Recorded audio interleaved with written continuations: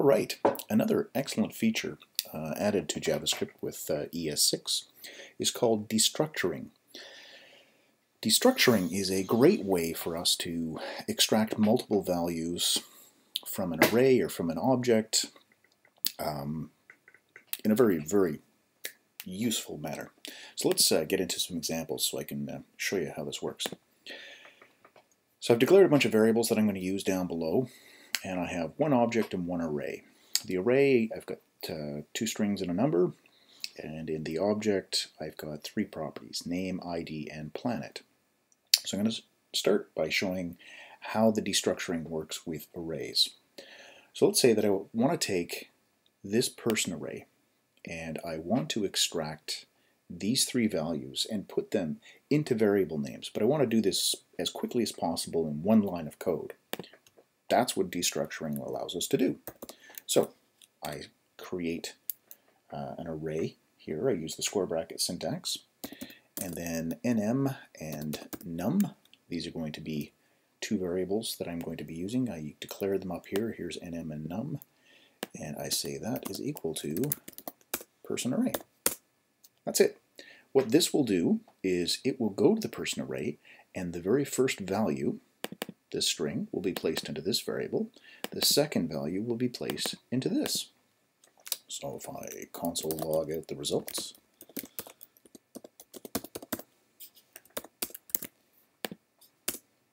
there we go, Zaphod 123.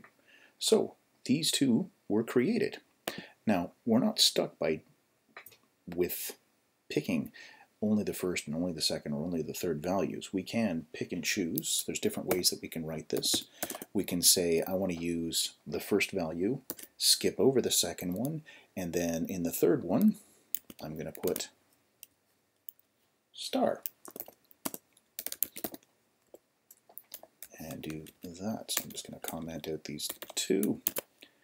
Do the same thing here. We'll console log nm and star. There we go. So nm will contain the first value of the array, the second value of the array will be skipped over, and the third one will be put into the variable star, which was declared up here. There we go, Zaphod Betelgeuse. Excellent. Another way we can do this, if I want to take a specific value, let's say we'll start with nm again, I want that, but then I want to take everything else that's in the array. I'm not sure how many things there's going to be, but I know I want to extract the first element into one variable and then everything else into this. And we'll say person array again, console.log nm is there. And then rest is an array. So it's going to have everything else that's in the array. I should declare this up here as well. There we go, two. So there's two items remaining inside this array. If I was to come in here and say, give me item one from that array, that'll be the second thing in this array, so it should be Betelgeuse. And there it is. So that's destructuring with arrays. Fairly straightforward, I think. With objects, we have some other cool things that we can do with them. So it's going to do the same sort of thing to be able to extract things out.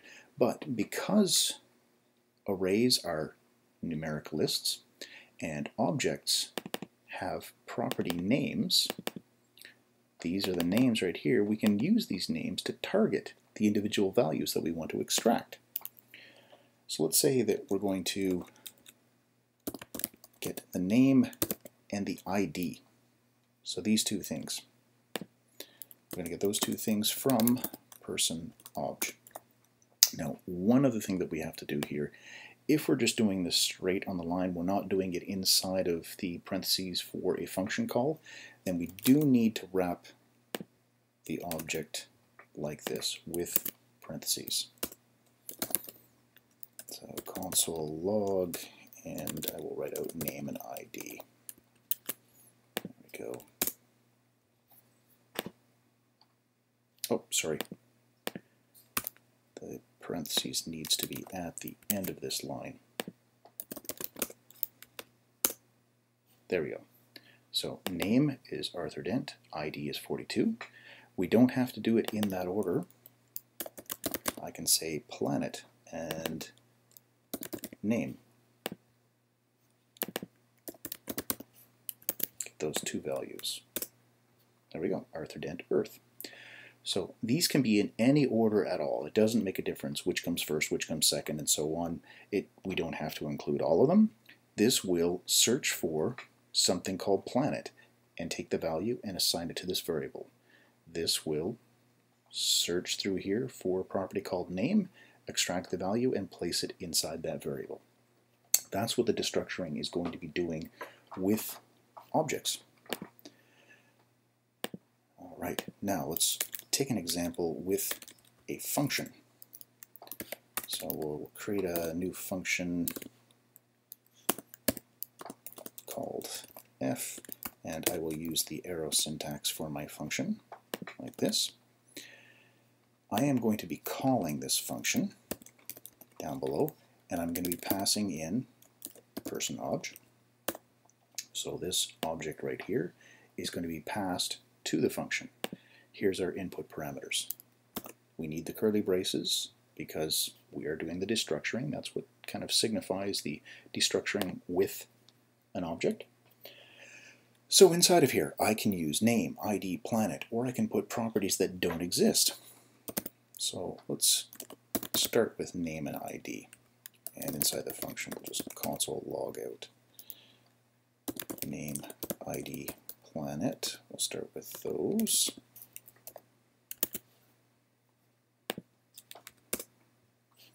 Okay, name, Arthur Dent, that was found the first string right here, it was able to extract that. ID was found. Planet, although it was in the original object, didn't get passed into the variable planet because I didn't put it here. If I was to add the variable planet here, now, there we go. There it is. If I was to add something that didn't exist, star for example, so we had a star in here, but it's not inside this object. It doesn't exist as a property inside here. Um, I'll add it to my list of values that I'm trying to write out. There we go, undefined. I put it here, so it is being declared to be used inside my function. I'm writing it out here, but it was never given a value. It was declared, but it wasn't passed a value because there is no star property inside of this object. Now, one last thing that we can do is by, um, sorry, not object, sol, that's our star.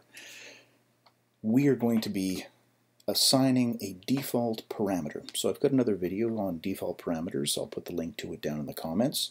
Here we are assigning a default value. So if star does exist inside this object, it will get assigned. If it doesn't exist, this will be the default value, which gets used down inside here. And our last comment, there we go. So there is name, ID, planet, and star. And that's it. That's the basics of destructuring. So it's an ability to extract values from objects and arrays.